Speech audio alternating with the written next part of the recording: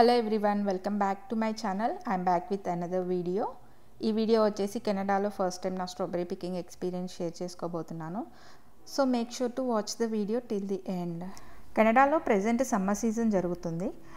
Summer వచ్చేసి మేతో start అయిపోయి ఆగస్ట్ ఎండ్ అయిపోతుంది. సో ఫోర్ మంత్స్ మాత్రమే ఇక్కడ సమ్మర్ సమ్మర్ ఉంటుంది. అంటే కొంచెం ఎండగా అంటే almost twenty to thirty degrees అలా ఉంటుంది. సో ఇయర్లో రిమైనింగ్ మంత్స్ అంతా కూల్గా సూపర్ విండీగా ఉంటుంది. సో ఆ టైంలో మనం అవుట్డోర్ యాక్టివిటీస్ చేయడానికి ఏం పాసిబుల్ అవ్వదు. ఓన్లీ మే టు ఆగస్ట్ మాత్రమే మనము అవుట్డోర్ యాక్టివిటీస్ చేయడానికి పాసిబుల్ అవుతుంది. అండ్ ఇప్పుడు ప్రజెంట్ మనకి ఎటు చూసినా కానీ గ్రీనరీ కనిపిస్తుంది.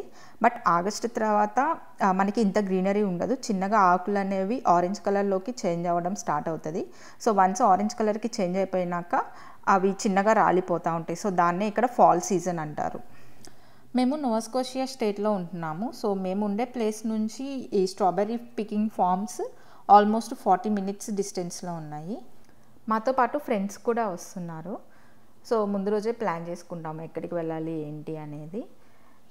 ఈరోజు స్ట్రాబెర్రీ పికింగ్తో పాటు మేము ఒక బీచ్ కూడా కవర్ చేసాము సో అది కూడా ఈ వీడియోలో పోస్ట్ చేశాను. సో మనం ఆల్మోస్ట్ ఫామ్కి రీచ్ అయిపోయాము. అండ్ ఇది నా first time fruit picking experience. So ఇది బాగానే జరిగింది. ఓన్లీ మైనస్ పాయింట్ ఏంటంటే వెదర్ అనేది చాలా సన్నీగా ఉంది అండ్ అలాగే వేడిగా కూడా ఉంది. సో వేడిగా ఉండడం వల్ల మేము వన్ టూ అవర్స్ కన్నా ఎక్కువగా ఉండలేకపోయాము ఈ ఫామ్స్లో. సో ఇండియాలో forty to forty five degrees టెంపరేచర్కి నాకు ఎప్పుడు స్కిన్ బర్నింగ్ సెన్సేషన్ అనిపించలేదు. బట్ కెనడాలో twenty twenty eight degrees thirty డిగ్రీస్కి నాకు స్కిన్ బర్నింగ్ సెన్సేషన్ అనిపిస్తుంది. సో అదొక్కటే మైనస్ పాయింట్. సో ఆ వేడి కూడా లేకుండా ఉంటే మేము ఇంకా బాగా ఎంజాయ్ చేసేవాళ్ళము. బట్ వన్ టూ అవర్స్ ఉన్న వన్ టూ అవర్స్ మేము బాగానే ఫ్రూట్ పికింగ్ చేసాము. ఈ కంట్రీస్లో ఫ్రూట్ పికింగ్ అంటే మనం పిక్ చేసుకోవచ్చు అండ్ అలాగే టేస్ట్ చేసుకోవచ్చు. బట్ పిక్ చేసిన వాటికి ప్రైజ్ ఉంటుంది. టేస్ట్ చేసిన వాటికి ఏం ప్రైజ్ ఉండదు. సో మనం ఎన్ని ఫ్రూట్స్ కావాలంటే అన్ని ఫ్రూట్స్ మనము టేస్ట్ చేయొచ్చు. సో అండ్ కిడ్స్ అయితే బాగా ఎంజాయ్ చేస్తారు. అండ్ ఫ్రూట్స్ ఇష్టమైన వాళ్ళు కూడా బాగానే ఎంజాయ్ చేస్తారు వీటిని. సో మనకి ఫ్రూట్స్ పిక్ చేసుకోవడానికి బాక్సులు ఇస్తారు. సో ఈచ్ బాక్స్ వచ్చేసి టూ డాలర్ ఫిఫ్టీ సెంట్స్ అలా పడింది. సో ప్రైస్ వచ్చేసి రీజనబుల్ అనే చెప్పుకోవాలి. మాకు ఇక్కడ లోకల్ స్టోర్స్లో ఒక్కొక్క box around five dollars six dollars అలా పడుతూ ఉంటుంది. అంత ప్రైస్ పెట్టి మనం స్టోర్స్ నుంచి తెచ్చుకున్నా కానీ అవి ఫ్రెష్గా ఉండవు. కానీ ఇక్కడ మనము ఆ ఫ్రెష్గా అప్పటికప్పుడు ప్లక్ చేసుకొని ఇంటికి తీసుకెళ్ళచ్చు. సో ఇదైతే నాకు చాలా బాగా నచ్చింది. సో ఈ ఫ్రూట్ పికింగ్ ఎక్స్పీరియన్స్ అయితే అంతా బాగానే ఉంది కానీ ఓన్లీ ఒక సన్లైట్ అనేది చాలా ఎక్కువ ఉండడం వలన మేము ఎక్కువసేపు టైం స్పెండ్ చేయలేకపోయాము ఈ స్ట్రాబెర్రీ ఫామ్స్లో మేము ఫ్రూట్స్ పిక్ చేస్తూ ఉండగా ఇక్కడ ఒక చిన్న పిచ్చుక కనిపించింది. సో దాన్ని కూడా వీడియో తీసేసి అట్లా క్యాప్చర్ చేసి పెట్టుకున్నాను. సో మేము అట్లా ఫ్రూట్ పికింగ్ కంప్లీట్ చేసుకొని తర్వాత అందరం group photos and normal photos తీసుకున్నాము. సో ఇక్కడ మేము దిగిన ఒక ఫోటో మా పోస్ట్ చేస్తున్నాను. ఇవి వచ్చేసి స్వీట్ కార్న్ ఫార్మ్స్ ఇవి ఇంకా గ్రో అవ్వలేదు అండ్ ఇవి పికింగ్కి ఎలో లేదని ఇన్ఫర్మేషన్ తెలిసింది. సో ఇది వచ్చేసి స్ట్రాబెర్రీ పికింగ్ సో దీని తర్వాత మేము లంచ్కి స్టార్ట్ అయ్యాము.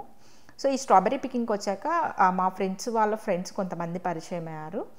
సో అందరం ఏం చేసామంటే వచ్చే ముందే లంచ్ ప్రిపేర్ చేసుకొని వచ్చాము. సో అలా ఒక్కొక్కరు ఒక్కొక్క ఐటెం ప్రిపేర్ చేసుకొని వచ్చారు. సో అలా అనుకోకుండా మేము పాట్లాక్ చేసుకున్నాము. సో స్ట్రాబెరీ ఫార్మ్స్కి దగ్గరలో ఉన్న ప్రావినెన్షియల్ పార్క్కి వెళ్ళాము. సో ఆ ప్రావినెన్షియల్ పార్క్ అనేది ఓపెన్ టు పబ్లిక్. సో అక్కడ మేము లంచ్ చేసేసాము. సో కెనడాలో ఫస్ట్ టైం అనుకోకుండా అరౌండ్ ఫిఫ్టీన్ టు ట్వంటీ పీపుల్తో పాట్లక్ చేసుకున్నాము. ఇక్కడ మాకు ఆఫీసుల్లో కూడా పాట్లక్ అవుతూ ఉంటాయి కానీ ఇక్కడ అంతా వెస్ట్రన్ పీపుల్ కాబట్టి వీళ్ళు బ్రెడ్ బటర్ పిజ్జా కేక్స్ ఇవే తీసుకొస్తారు. బట్ మన ఇండియన్ పీపుల్తో పాట్లకు అంటే అన్నీ మన ఇండియన్ డిషెసే ఉంటాయి. అందులోనూ మన తెలుగు వాళ్ళు ఇక్కడ ఉన్న ఫ్యామిలీస్ అందరూ. అలాగ మన తెలుగు వంటకాలన్నీ ఆ రోజు టేస్ట్ చేశాను. సో ఇక్కడ అందరం లంచ్ కంప్లీట్ చేసుకొని నెక్స్ట్ పార్కింగ్ దగ్గరలోనూ వాటర్ ఫాల్కి వెళ్తున్నాము. సో వాటర్ ఫాల్కి వెళ్ళాలంటే మనం కార్ను ఒక చోట పార్క్ చేసుకొని ఫిఫ్టీన్ మినిట్స్ వాక్ చేయాలి.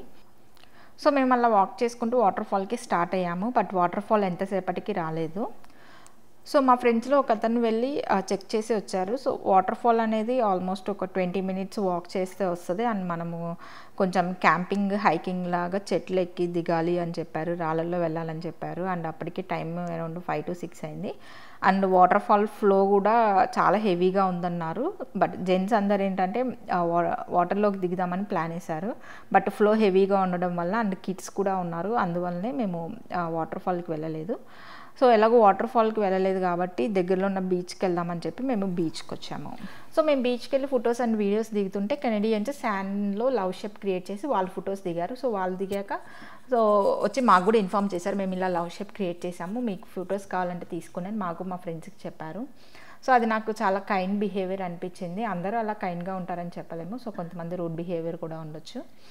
సో ఇది బీచ్ వచ్చేసి అరౌండ్ ఎయిట్ టు నైన్ ఆ టైంకి అంత చల్లగా అయిపోయి పొగమంచు వచ్చేసింది. సో మార్నింగ్ ఎంత హీట్ అన్నా ఉండనివ్వండి ఇక్కడ బీచ్లో మాత్రం ఈవినింగ్ ఎయిట్ నైన్ ఆ టైంకి ఇట్లా పొగమంచు వచ్చేసి చాలా చల్లగా అయిపోతుంది. ఈ వీడియోని ఇక్కడితో ఎండ్ చేసిన మీకు ఈ వీడియో నచ్చితే like share comment and subscribe to my channel